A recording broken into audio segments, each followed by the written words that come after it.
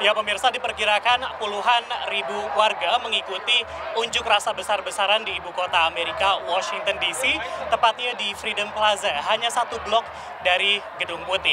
Ada dua tuntutan utama dari para pengunjuk rasa ini.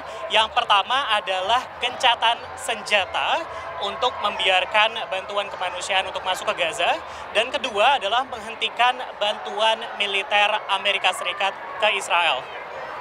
Dari segi jumlah, pemirsa, ini diklaim menjadi yang terbesar di Amerika Serikat sejak serangan balasan Israel terhadap serangan Hamas awal Oktober nyaris sebulan lalu.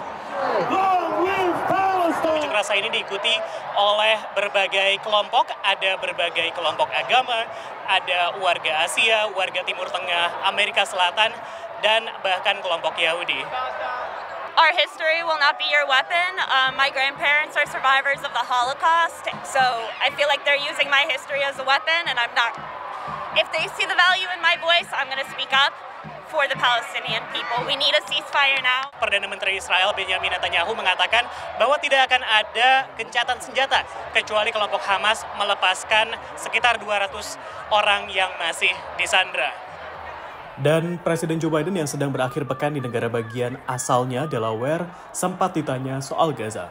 Mr. President, any progress on the humanitarian pause? Dan pemirsa unjuk rasa besar-besaran ini dilangsungkan dua hari setelah DPR Amerika meloloskan anggaran 14,5 miliar dolar AS bentuk bantuan militer ke Israel. Dan banyak di antara para pengunjuk rasa ini yang merasa bahwa anggaran tersebut lebih baik digunakan di dalam negeri. We're sending money to other countries to fund genocide when we have our own problems here in the U.S.